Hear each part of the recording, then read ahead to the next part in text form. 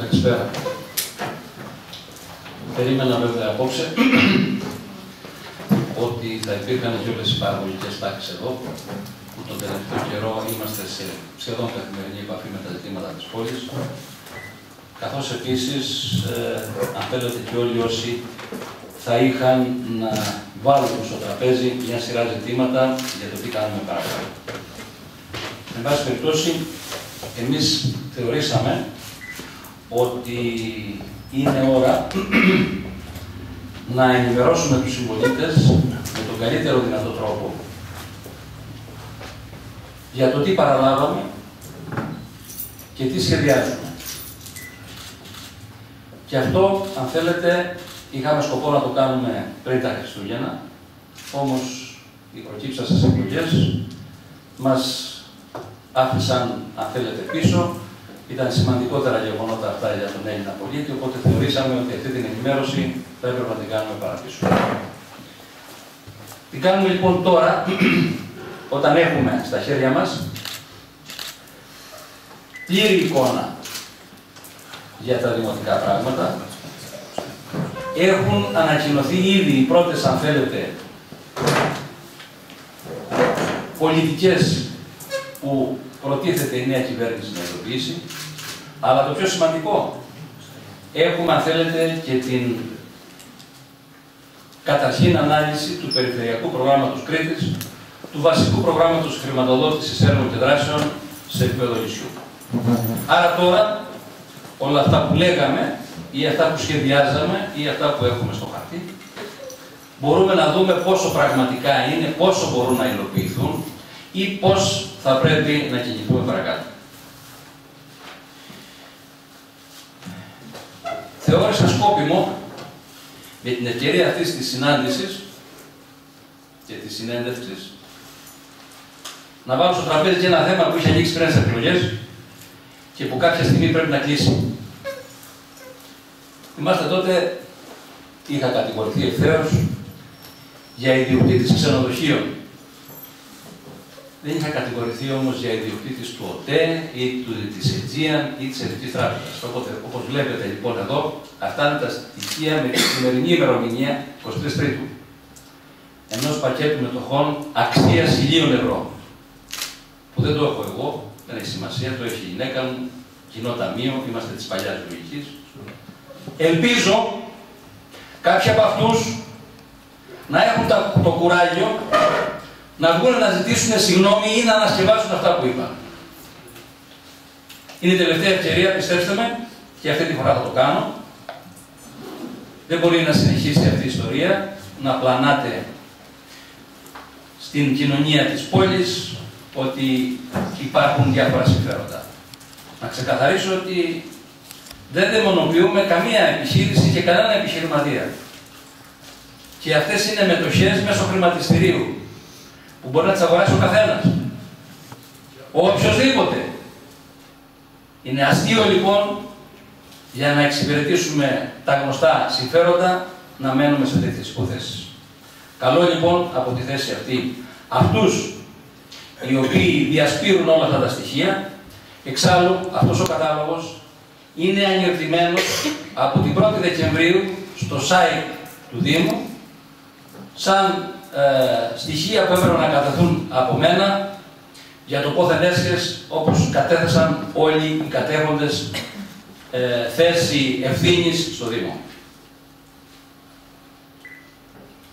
Επίσης, κατά κόρον, κυρίως ή ίσως και μόνο, από τον επικεφαλής της, ε, του σύγχρονου Δήμου, τον πρώην Δήμαρχο κύριο Κουνενάκη, κατηγορούμε και κατηγορούμαστε για ανυπαρξία δημοκρατίας, για διάφορα τέτοια, μια και κάποιοι θεωρούν ότι έχουν το γονίδιο της δημοκρατίας μέσα τους. Το ανέφερα και προχθές στο Δημοτικό Συμβούλιο, ένας άνθρωπος που έχασε τις εκλογές καθαρά και στη συνέχεια εξακολουθεί να παίζει το ρόλο που είχε πριν τις εκλογές, αυτό μόνο δημοκρατική ευαισθησία δεν δείχνει. Ο κ. Κουνενάκης είχε οριστεί σαν εκπρόσωπο της Περιφερειακής Ένωσης Δήμων στην Αναπτυξιακή Κρήτης. μετά την ανάλυση της εξουσίας πρώτη ενάτου, Λασιδίου, συγγνώμη, αναπτυξιακής Λασιδίου. Τα καινούργια όργανα που προέκυψαν, η Περιφερειακή Ένωση Δήμων Κρήτης, ανέδειξε άλλους εκπροσώπους.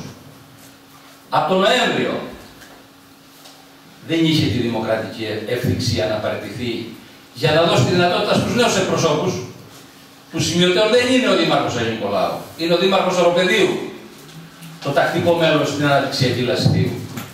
Τέτοιος σεβασμός και για τέτοια δημοκρατία μιλάμε. Όπως επίσης στα πλαίσια αυτά της απόλυτης, αν θέλετε, συνεργασίας, μάλλον μη συνεργασίας, θεώρησε και θεωρεί ότι τα ζητήματα και τα προβλήματα που υπάρχουν στο νοσοκομείο συσσωρεύτηκαν λόγω της εξάμεινης παρουσίας μας στα δημοτικά πράγματα του Αγίου Νικολάου. Εδώ κλείνω με αυτά τα γενικά ζητήματα. Θα ήθελα να σταθώ λίγο περισσότερο στο τι χρειάστηκε να κάνουμε για να δούμε πραγματικά τι παραλαμβάνουμε. Να πω εδώ ότι το μόνο σίγουρο, αν θέλετε, το οποίο έχουμε στα χέρια μας και το οποίο λέγεται σε έκταση. Παραδώσαμε ταμείο 6,5 εκατομμύρια. Λέω χοντρικά νούμερα, δεν είναι ακριβή τα νούμερα, είναι 6,455, 781,72. Και στα υπόλοιπα νούμερα θα αναφέρω, θα κάνω ε, στρογγυλοποιήσεις, γιατί η ουσία δεν είναι ε, το ακριβές νούμερο, αλλά κάτι άλλο. Πράγματι, στο Ταμείο του Δήμου, όταν αναλάβαμε, υπήρχαν περίπου 6,5 εκατομμύρια. Όμως, δεσμευμένα, δηλαδή για έργα που ήδη εξελίσσονται, ήταν κάτι παραπάνω από 5. 5.200, 5.300. Όπου υπήρχαν πράγματι περισσεύματα, δεν ήταν από κανένα άλλο λόγο παρά μόνο από πιστώσεις που έχουν χορηγηθεί στο Δήμο και δεν αξιοποιήθηκαν. Παραδείγματος χάρη, τα χρήματα από την πολιτική προστασία. Ενώ έχουμε τόσα προβλήματα στο αγροτικό δίκτυο της περιοχής, εν πολλής από τις θεομηνίες, εμείς έχουμε στο Δήμο 360.000 και κάθονται. Και με αυτά τα λεφτά, την προηγούμενη περίοδο, όπως καταλαβαίνετε, θα μπορούσαν να έχουν γίνει βήματα να μην έχει φτάσει το αγροτικό δίκτυο εδώ που φτάνει. Για τις υποχρεώσεις, λοιπόν, οι οποίες υπήρχαν, τα λεφτά είναι στο Ταμείο. Ο κ. Κουνονάκης μου παρέδωσε ένα υπόμνημα δύο σελίδων. Βλέπετε την πρώτη σελίδα. 13 σημεία όλα και όλα θα σας δείξω και τη δεύτερη. Ανέφερε. Δύο σελίδες υπόμνημα και έξι σελίδες πίνακες. Με σημαντικά ζητήματα έξω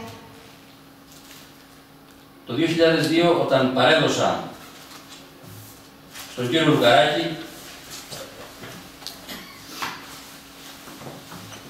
του παρέδωσα ένα υπόμνημα 28 σελίδες χωρίς πίνακες αναλύοντας λεπτομερώς το κάθε ζήτημα και το κάθε έγγραφο που βρίσκεται. Αντιλαμβάνεστε λοιπόν ότι όταν ας πούμε δέστε στο σημείο 7 και θα ακούσετε παρακάτω για το λιμενικό ταμείο. Λιμενικό ταμείο, όλα και όλα. Το ότι χάρη υπάρχει, το ότι υπάρχουν ανίσπρακτα, το ότι δεν υπάρχουν υπάλληλοι, το ότι δεν λειτουργεί, το ότι, το ότι, τίποτα. Υπάρχουν μελέτες για συντηρήσεις και ασφαλτοστρώσει και προχωρούν διαδικασίες για τα αεροπλάνα. Όλα τα άλλα λιμένα. Αντίστοιχη λογικής είναι όλα τα υπόλοιπα. Το έξι πολυδομικές μελέτες. Μετά από επίπολη διαδικασία, η πολυδομή έχει πάρει από τις περιφέρειες πολυδομικές μελέτες Αμουδάρα, Εσίου, δηλαδή τι τις έχει πάρει και τις έχει κάνει τι. Έχει εγκριθεί καμιά.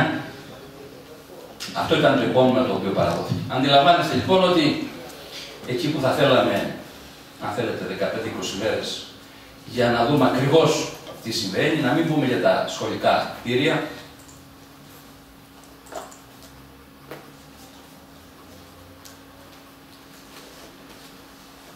Μαρίνα. Για τη Μαρίνα το μόνο ζήτημα που υπήρξε ήταν το έλλειμμα της Μαρίνας. Το ότι δεν έχουμε άδεια λειτουργία, το ότι δεν έχουμε άδεια για το πάρκινγκ, το ότι δεν, ε, υπάρχουν ζητήματα περιβαλλοντικά. Κανένα ζήτημα. Αντιλαμβάνεστε λοιπόν τον τρόπο με τον οποίο θεωρούν ότι ενημέρωσαν την επόμενη δημοτική αρχή, ούτω ώστε ο Δήμος, ο οποίος έχει συνέχεια βέβαια, να συνεχίσει να λειτουργεί χωρί προβλήματα. Θεωρούμε λοιπόν ότι Μέχρι τώρα έχουμε δώσει δείγματα γραφής, αφού συζητάμε για ένα διαφορετικό τρόπο διοίκησης. Δεν φοβούμαστε να αγγίξουμε ζητήματα τα οποία είναι δύσκολα. Παράδειγμα, και ψησίου. Μια υπηρεσία η οποία κατά μέσο όρο έχει περίπου 15 έγγραφα μηνιαίως, από τα οποία τα 10 είναι βεβαιώσεις γνησίου υπογραφής, απασχολεί έναν υπάλληλο. Και μάλιστα με παράνομο τρόπο. Γιατί; Διότι δεν υπάρχει υπάλληλος εξουδετωμένο στα ΚΕΠ. Κάθε υπάλληλος έχει έναν κωδικό με τον οποίο μπαίνει στο σύστημα και εκδίδει τα έγγραφα που ζητάνε οι πολίτες. Εκεί λοιπόν οι υπάλληλοι από εδώ, οι οποίοι αν θέλετε τι πλάτες του πρόβλημα και τις δικές μου, συνεχίζουν να πηγαίνουν εκεί, χρησιμοποιούν κωδικούς Αγίου Νικολάου για να εκδίδουν πιστοποιητικά. Αλλά να συνεχίσουμε να απασχολούμε έναν υπάλληλο για να πηγαίνει εκεί, γιατί δεν έχει να κάνει τίποτα άλλο να βλέπει βίντεο. Το λένε οι ίδιοι υπάλληλοι, το λέω εγώ. Και να θεωρεί κάθε δύο μέρες ένα γνήσιο της υπογραφής. Η πρόταση στο προτεσινό Δημοτικό Συμβούλιο από την μεριά της μειοψηφίας ήταν αναβολή. Δεν ήταν βάλτε παραπάνω, δεν τολμάνε να το πούνε γιατί ξέρουν ότι δεν υπάρχει αυτή η δυνατότητα.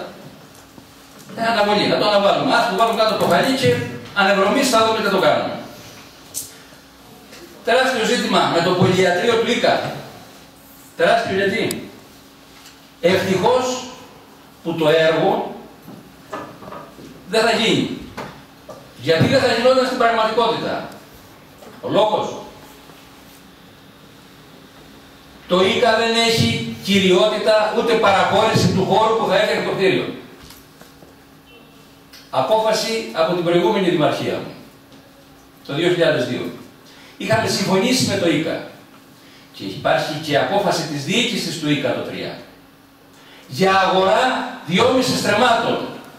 Με την τιμή εκείνης της εποχής της σημερινής. Αυτή η απόφαση έμεινε εκεί. Κανείς δεν έψαξε να εισπράξει τότε που πήραν λεπτά, γιατί τώρα δεν είναι δυνατόν να ζητάμε. Όμως, εάν ξεκίναγε αυτή η διαδικασία. Δηλαδή, αν ήταν πραγματικά ο λαό έτοιμος να κάνει το έργο, σε ποιο οικοπαίδο, με ποια παραχώρηση, πώς θα γινόταν η χρηματοδότηση από την Ευρωπαϊκή Ένωση. Πρέπει να το δούμε. Μας χρειάζεται το πολυιατρίο τώρα. Μήπως με τα προβλήματα που υπάρχουν στον χώρο της υγείας θα πρέπει να δούμε πρωτίστως και κυρίως και με όλη μας τη δύναμη τη σωστή λειτουργία του νοσοκομείου και αναζήτηση μιας άλλης λογικής πολυιατρίου του ΙΚΑ το οποίο θα μπορεί να στεγάζεται και στο ήδη κτίριο του ΙΚΑ, στο ισόγειο γιατροί για να γράφουν φάρμακα ή για κάποιες εξετάσεις, και όχι να μπούμε στη λογική μιας επένδυσης η οποία θα δημιουργήσει ένα κτίριο όπως τόσα άλλα γύρω-γύρω τα οποία θα κάθονται.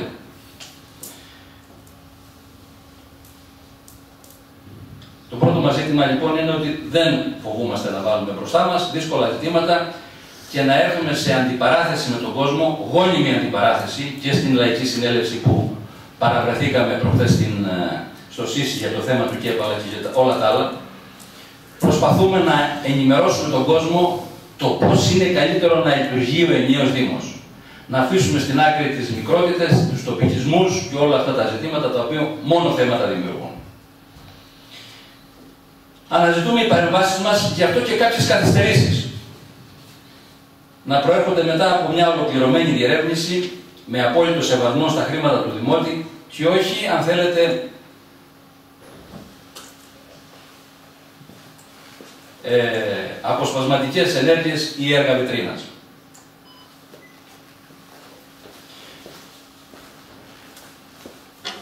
Το είπα στην αρχή, αλλά θα πρέπει να το τονίσω και εδώ. Ένα βασικό στοιχείο που υπάρχει πια στη δημόσια διοίκηση και αυτό θα πρέπει να τονίσω ότι δεν το καταθέτουμε σαν δικαιολογία. Είναι η τραγική γραφειοκρατία η οποία πλέον, αν θέλετε, μας δίνει τα χέρια σε πάρα πολλά ζητήματα. Είναι πολύ πιο εύκολο να εντάξουμε ένα σοβαρό έργο σε ένα πρόγραμμα παρά να φτιάξουμε τρεις λακκούβες. Τελευταίο, αν θέλετε, πρόβλημα, λάμπες. Δύο φορές διαγωνισμός, κανείς ενδιαφερόμενος. Ήρθες, ήρθε να σας πω ότι για να αλλάξει το χαλί στο γραφείο του Δημάρχου και Κουρτίνη, χρειάστηκαν τέσσερις μήνες. Όλη αυτή η διαδικασία, πιστέψτε με, είναι μια διαδικασία η οποία έχει επιβληθεί. Πώς αλλιώς, αγαπητοί φίλοι, θα είχαμε πλεονάσματα, πρωτεύοντα πλεονάσματα; Δεν τρέχουν τα ζητήματα, τα λεφτά έρχονται στην Ευρώπη, έργα δεν γίνονται, μένουν, έχουμε πλεόνασμα. Πραγματικά όμως υπάρχουν ζητήματα λοιπόν όπως καταλαβαίνετε σοβαρά. Λοιπόν, αυτά τα εισαγωγικά και ας μπούμε να δούμε τώρα τι ζητήματα βάζουμε μπροστά μας, βάλαμε μπροστά μας αυτό το διάστημα, προσπαθώντας να δημιουργήσουμε ένα καλάθι δράσεων έργων και μελετών, ευρύ, ούτως ώστε ανάλογα με αυτά που θα υπάρξουν, ανάλογα με τις χρηματοδοτήσεις, να μπορούμε να κάνουμε δουλειά.